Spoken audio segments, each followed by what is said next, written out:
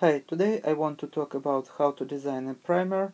I won't talk about uh, all the aspects of how to design a primer in one video because it's going to be too long. So I want to break um, one video in a series of videos and today I want to talk about uh, how to calculate the length of the primer. And uh, probably you may answer it right away is uh, uh, longer it's going to be the better because it's going to be more specific for one particular place but this is this obvious answer is uh, not the correct and I will uh, explain you why and uh, I want to start with uh, law of probability and uh, don't be afraid this is very basic and I promise that this is going to be easy to understand. So imagine that we have a coin and we flip it many many times and what are the chances for uh, this coin to land uh, heads? And this is uh, obvious answer. We have one half chances for heads and one half chances for tails. So if we add this this is going to be one. So this is a simple example and easy to understand. So now I proceed with example of the gene or just uh, uh, random DNA sequence. So this is DNA and for example if we have uh, nucleotides here uh, what is the chances that in any particular place would be sum of the four bases and we have uh, bases uh, that is adenine, guanine, cytosine and thymine. So uh, in our first example we had two surfaces, coin has two surfaces and now we have choice of four different uh, bases. So for example, uh, for this particular place, to have adenine, we have uh, one fourth chances because we have a choice of uh, four bases. For same thing for the second uh, place and third. So um, let's take for example uh, adenine and place it here on the first place and what is the chances for the second place? Uh, I just want to repeat that we don't know the sequence of this DNA uh, so what is the chances for the second place? Uh, on the second place to be guanine or cytosine, thymine or adenine. Maybe uh, there's going to be two adenines in a row. So for each of these bases chances would be uh, the same. This is independent events for example, if we have A on the first place, it doesn't affect uh, in any way what the next base would be. So we call it independent events. So, uh, for example, for the second place, we would have C. And what is the chances that uh, this particular sequence happens in our genome? And this is going, we can calculate it by uh, we put two independent events. So we have one fourth chances for uh, first place to be A, one fourth chances for the second place to be C, and uh, by the rule of probability we have to uh, multiply these chances of two independent events. And what we get is 1 over 16 and we also can notate it as uh, 4 raised in minus 2 so this is uh, the same way just express same thing. So uh, what does it mean that uh, if we have for example we have uh, our DNA fragmented in uh, for example I can extend it and let's say we have uh, 32 bases here and 16 here so this means that uh, in this fragment of DNA with 32 bases, probably our sequence AC would happen twice because as you see here, this should be uh, this should happen every 16 bases. So it can be any two bases, AA, CC, uh, GC, it doesn't matter.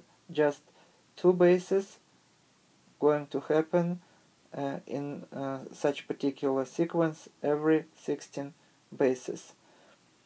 So what if we have, uh, uh for example, T here on the third place, what, how we calculate? We just use the same formula, 1 fourth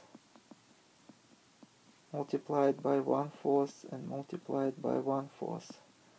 So this is going to be 1 over 64 or 4 raised minus 3. And uh, we I want to stop uh, using these small numbers and I want to jump uh, right away.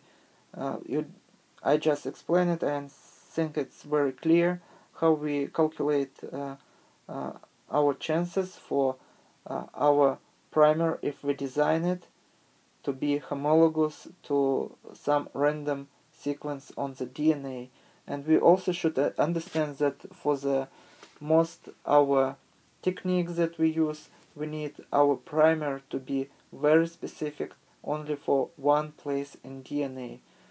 And for example, if we have uh, uh, four base pairs, uh, we would have, uh, for example, 12, almost 12,000 uh, uh, places in our DNA that would be homologous to such sequence. And probably such primer wouldn't be useless for our purposes. Uh, to, for example, copy one particular sequence or fragment of the DNA or gene. So um, I want to show you the minimum uh, length of the primer that we need uh, to be higher specific and happens only once per the whole genome and whole genome is 3 billion uh, base pairs and this is haploid number. So we have 23 uh, chromosomes that we got from our mother side and 23 chromosomes that we got from our father side. So together 46 chromosome.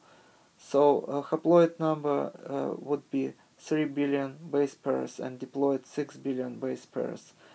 And um, we need at least uh, 4 raised 17.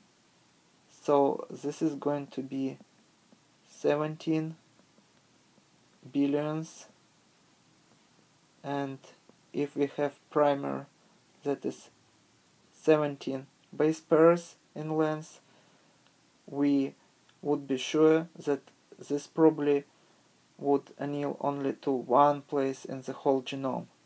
So uh, most of the primers are between 17 and 30 base pairs, uh, bases, and also we can call it uh, 30 mer, for example. This is the other way to call it. And you may also ask why not to make a primer, for example, 100 uh, base per bases or um, 200 bases. So this for sure would be very high specific for one particular place in genome. But this is not the correct answer, and here is explanation one. Why, uh, for example, if this is going to be very long, this may form such structures like uh, probably you saw tRNA that is have uh, self complementary uh, fragments. So it forms very um, distinctive three-dimensional uh, shape. And of course such primer wouldn't work. And imagine another situation where we have a gene and very long primer. And on the gene we have uh, two places that going to be homologous to such a long primer. And our long primer may have may anneal like this. And this is of course also would disrupt uh, what we plan uh, and uh, we won't get uh, results that we expect.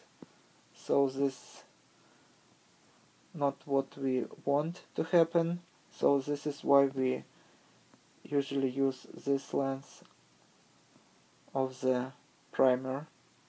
And also when you design a primer I highly recommend you to use to go to the NCBI uh, website and use uh, such program as BLAST. And